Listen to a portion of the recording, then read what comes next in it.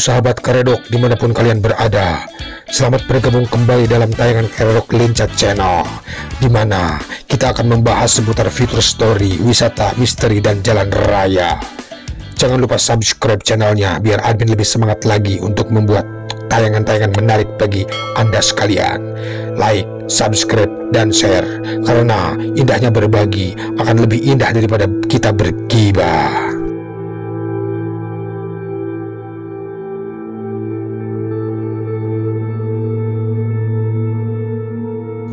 Sahabat Karadok Lenca di mana pun kalian berada. Banten adalah sebuah provinsi di wilayah paling barat Pulau Jawa. Banten pernah menjadi bagian dari Provinsi Jawa Barat Namun menjadi provinsi sebagai wilayah pemekaran sejak tahun 2000 Melalui Undang-Undang Nomor 23 Tahun 2000 Pusat pemerintahannya berada di kota Serang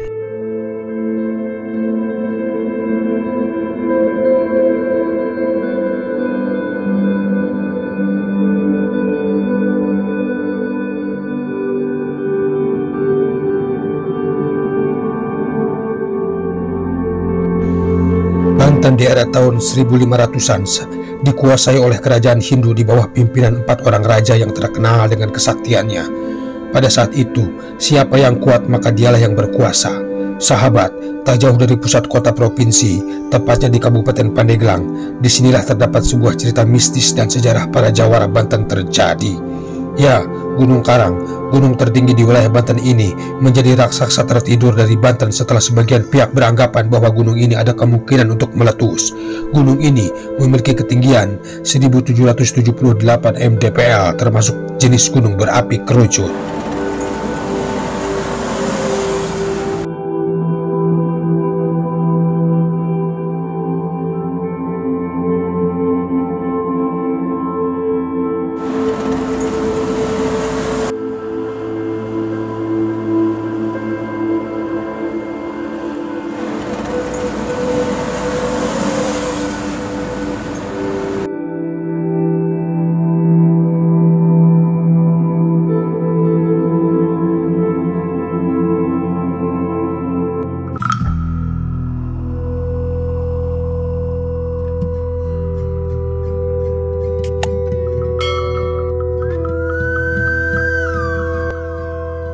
Gunung Karang adalah tempat mendaki dan berziarah.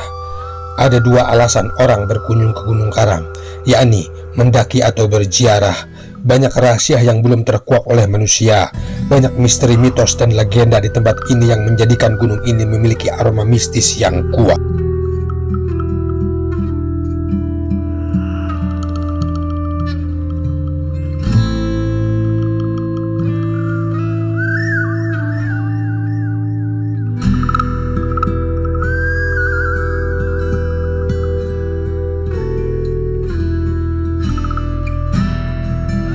Sejarah Gunung Karang tidak lepas dari cerita peradaban masa lalu hingga sejarah leluhurnya dari kepercayaan Hindu Buddha sumur tujuh karang yang keberadaannya di puncak Gunung Karang ini dalam ketinggian 1778 mdpl adalah tempat yang paling sering dijadikan tujuan mendaki dari berbagai penjuru Nusantara Sejarah Sumur Tujuh Karang berkait erat dengan Sultan Maulana Hasanuddin, pendiri Kerajaan Banten, Sarip Hidayatullah Raja Cirebon pertama.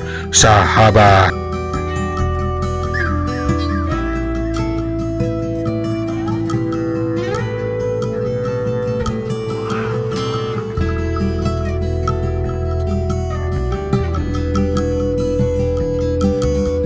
Ya, betul sekali sahabat. Sejarah yang melegenda di masyarakat tentang keberadaan sumur tujuh yang dibuat oleh Sultan Maulana Hasanuddin adalah ketika Sultan Hasanuddin ditantang bertarung oleh Raja Pucuk Umun, Raja Banten Girang.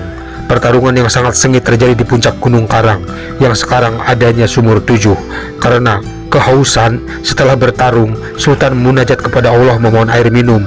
Atas izin Allah maka ditanjapkan tongkatnya ke tanah dengan seketika keluarlah air menyembur dari dalam tanah.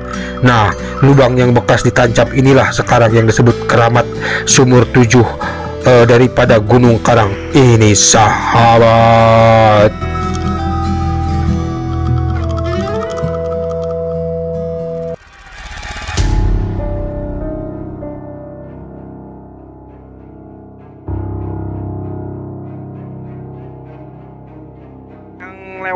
itu jalur mana pak? Jalur sini bisa jalur pasir angin juga bisa. Hmm. Nanti kita Muter, Bang, ya? kalau ke kawah kita ngambil arah kiri dari tempat yang paling atas itu kita berhenti ya. Kita ngambil. Cuma jalannya lebih ekstrimnya 70% tuh. Yang ini ya tempat air itu ya. jadi kita ngeliat nih posisi batunya itu kayak gini. Jadi ketinggian dari ngawang ke atas itu hampir 3 kilo uh, itu ketinggiannya dari kedalaman kita ngeliat ke atas 3 kilo itu batu ngeri bener Hmm. ngeri. Tapi bapak pernah ke sana sering. Saya sering kata orang kan gini Hmm. kalau masak telur di situ bisa dibuka di situ matang di situ kalau dibawa ke rumah eh, apa mentah lagi bokok enggak kalau udah matang mah matang aja dibawa ke rumah juga matang. Ya mau bener. Karena kan kita ngerebusnya pakai air kawah tinggal dicelupin aja ke situ. Liatin aja tungguin gini. Saya buka di situ matang. Ah, ngerebusnya saya dua bawa ke rumah satu. Ya matang aja dan nyampe rumah juga. Berarti mitos ya. mitos. Oh. iya emang sih tapi larangan yang paling dilarang banget di Gunung Karang apa? Misalnya kalau daerah Gunung Karang cuma ngomong doang. Ngomongnya Asal ya. asal. Kalau ngomong jangan asal. Misalnya nih kita ngelihat ke atas ah segitu mah kok bentar juga nyampe. Itu nggak bakalan nyampe Nggak beneran nggak bakalan nyampe. Mendingan kita mikirnya gini aja orang lain bisa kenapa kita nah benar sih. Itu banyak orang yang mau jarak ke sumur tujuh itu yang nggak nyampe. Nyampe pos satu pulang lagi nyampe pos dua pulang lagi Oke, nyampe ke atas. Itu tuh, saya yang ngangkat ngangkat lurah itu dari pos ini nih. Dari sini? Iya yang dua dari sini yang dua dari sini. Kan ada berapa orang? Empat orang yang udah kewalahan terus yang satu mah di itu kan ditanduk ada dua orang dia teriak-teriak woi katanya yang satu mati katanya potong aja. Udah capek ya bolak balik bolak balik di sini malam jam 9 sampai jam berapa di sini? Bolak balik udah potong aja kan abangnya abangnya si Rura. Beratnya dia sama 80 kilo. Uh. Cuma kata dia udah saya mau pakai sarung aja katanya ditandu pakai tandu. Entah ngebentur entah di itu di dalam. Karena beratnya minta ampun dua orang yang dibawa ke sini juga buat ngejemput bukan orang orang-orang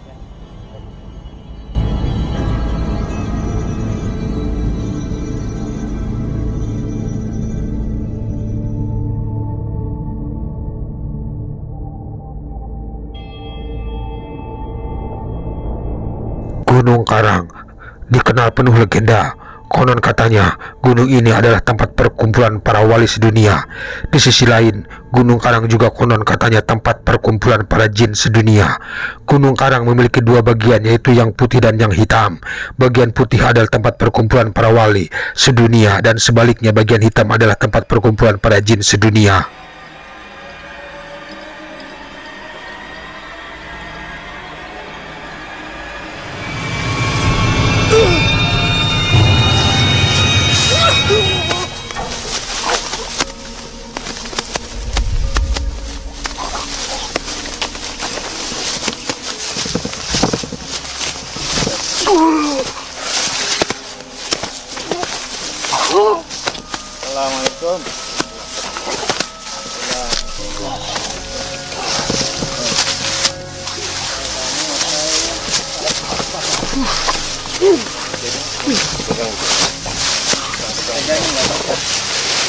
Santai. Assalamualaikum. Assalamualaikum. Kamu bisa tenang ya. Assalamualaikum. Hei. Assalamualaikum. Waalaikumsalam Kamu siapa? Kamu siapa? Nama kamu siapa? Ki Hejo Ki Hejo. Dari mana kamu? Dari bambu itu? Setilasan? Dari mana? Kamu bisa tenang.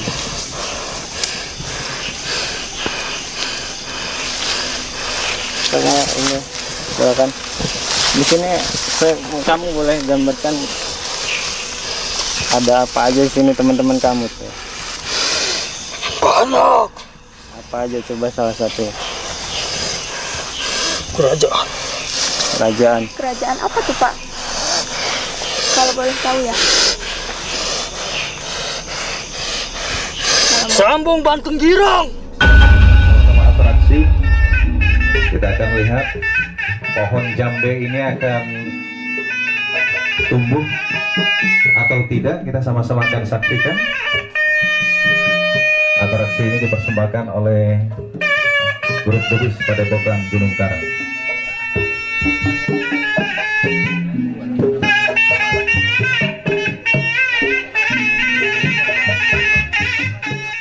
Bahkan, sampai detik ini pun, semua kalangan jawara-jawara di Banten akan memiliki historis dan pengalaman seputar ilmu kanuragan dan kedikjayaan terhadap gunung ini. Sehingga, Gunung Karang kerap menjadi wisata religi pilihan bagi warga Banten, dan banyak juga wisatawan atau peziarah dari luar Banten. Sahabat.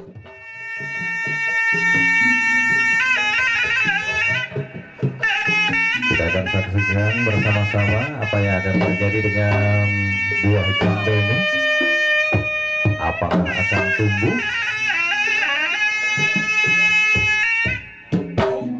Masih sama-sama terus kita saksikan atraksi debus bersama Padepokan Gunung Karang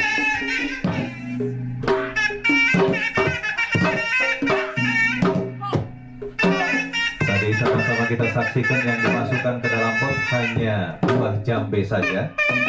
Setelah dimasukkan ke dalam pot, apa yang akan terjadi?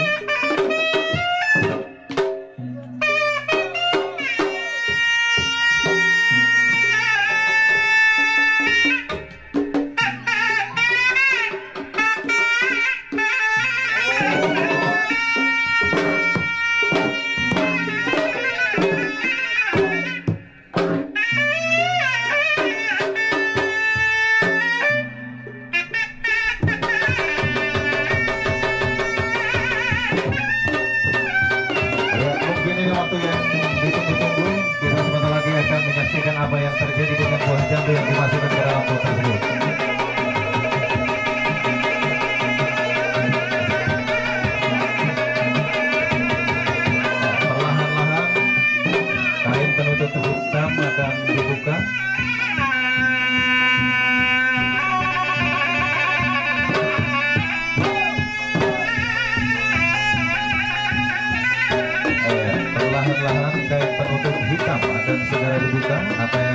Dengan buah jambe yang sudah dimasukkan ke dalam pot tadi?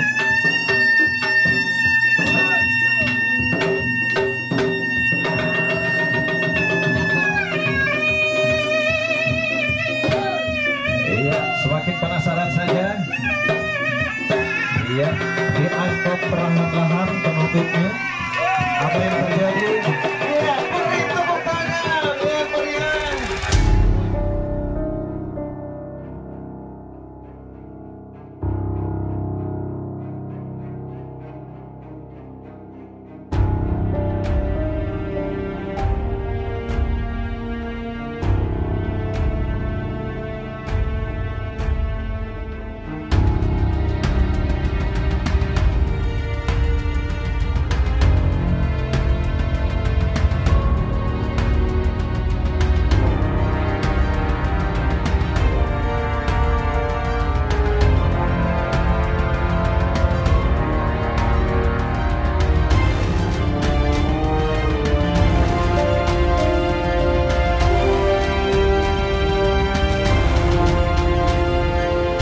Sampai ketemu lagi di tayangan-tayangan menarik lainnya dari Keredok Lencat Channel.